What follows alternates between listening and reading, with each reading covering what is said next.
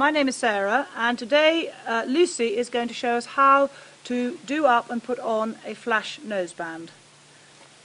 So the flash noseband is a Cavesson noseband with a strap that comes around the horse's nose.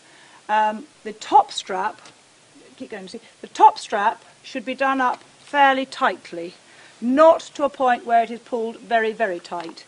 It should be just below the cheekbones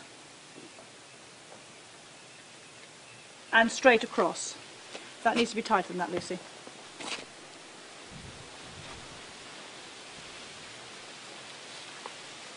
One more, that's it. The flash, which is the bottom bit, comes round under, around the bit and through the chin groove.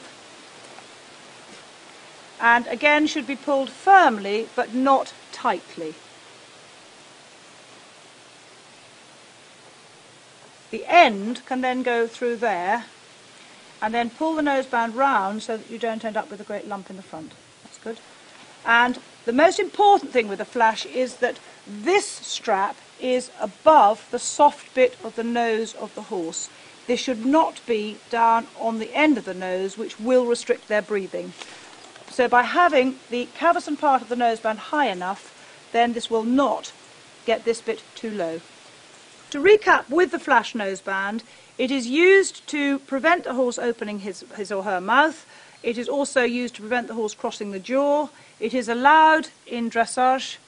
It is uh, the, the top, the Cavesson noseband is above the bit, the flash strap is below the bit through the chin groove, and the top one is, is fairly is tight but not very tight over tight, and the bottom one you should be able to just get a finger in.